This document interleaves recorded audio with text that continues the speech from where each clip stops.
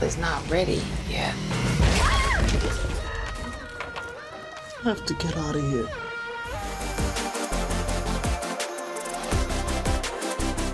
Uh, I think uh, Cootie's just he's fun because he, he he's not one dimensional. He has a lot of different qualities that that keep jumping around. Uh, I think he's someone who's very smart and intelligent, and he knows a lot, but he doesn't know it all.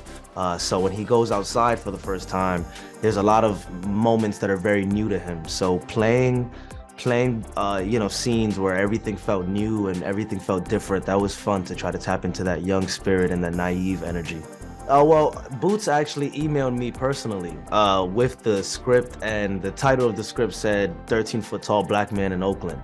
And I think once you read that, you're very intrigued and curious as to what he means. So uh, once I saw that, I, I, we took a meeting a week later, and he, he painted the vision for me, and he told me how he wanted to execute it. And it just excited me because I knew it would be a challenge and something very important and different.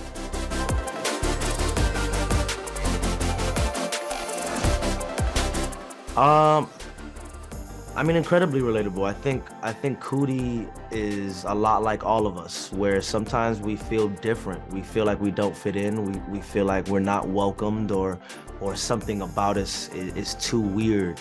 Um, but Cootie takes that all with pride, and he loves who he is, and he loves himself, and he's confident that he knows what he needs and and who he is.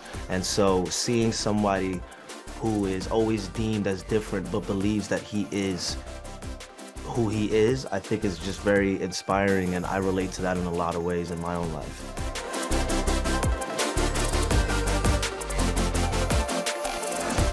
The best part about being in Hollywood right now, the, the weather's nice.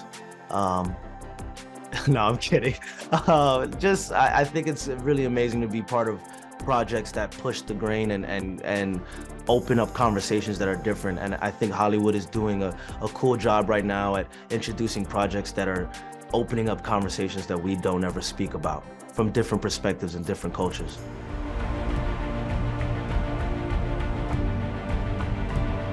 I, i'm in full support of the hollywood uh, writers strike. Uh, i think that there's a lot of change that needs to happen on the back end of projects and a lot of um, fairness that needs to be allowed uh, because writers are the crutch of everything we see and, and there would be no film, no show without there being the script and the dialogue. So um, I'm in full support of, of the movement and, and all the work that needs to be done to allow for change to happen.